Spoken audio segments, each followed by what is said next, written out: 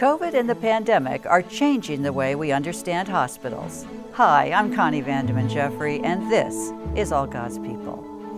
The latest COVID surge, fueled by the Omicron variant, is taxing hospitals across Kern County in California.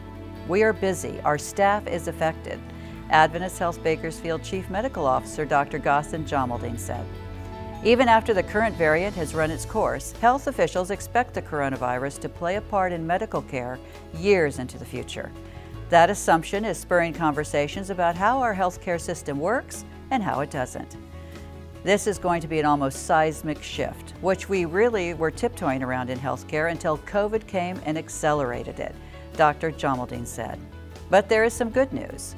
According to Adventist Health Bakersfield President Daniel Wolcott, we're beginning to be better at taking care of patients outside the hospital and taking care of higher acuity patients outside the hospital. Adventist Health has taken strides in mobile care, improving telehealth, and developing mobile field clinics. Although there's a long way to go, Dr. Jamaleddine believes that technology is going to shift more and more toward critical care.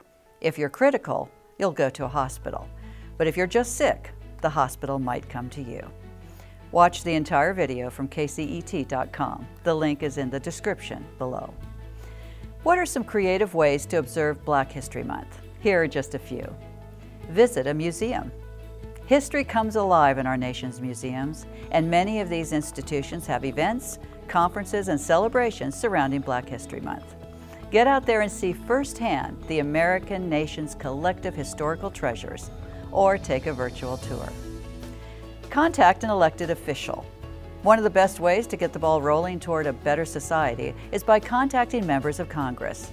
Ask them what they have planned for Black History Month and what specific legislative actions they plan to take to ensure that your community never backtracks in its pledge to provide opportunities for each and every person.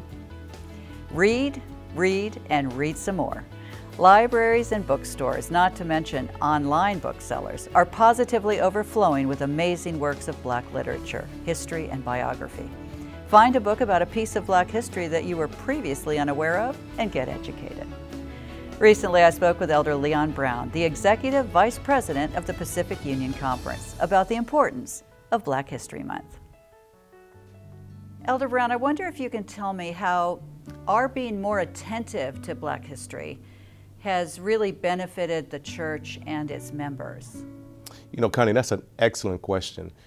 Um, you know, a few weeks ago, I had an opportunity to review on uh, Martin Luther King Day to go back and look at some of Dr. King's speeches.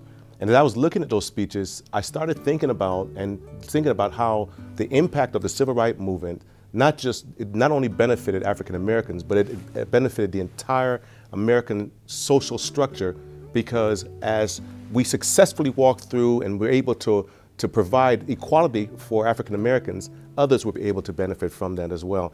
And I think that same thing is happening in the church. We have, as we begin to struggle, that's why it's important to, to not negate the power of the struggle.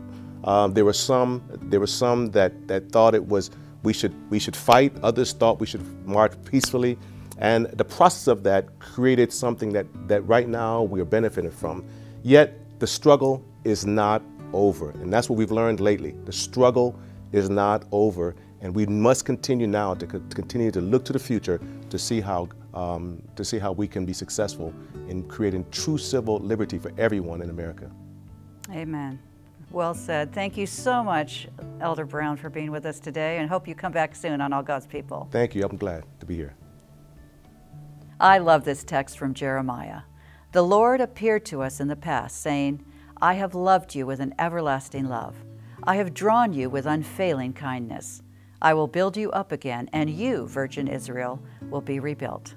Again, you will take up your timbrels and go out to dance with the joyful. May you feel his everlasting love today. For all God's people, I'm Connie Jeffery.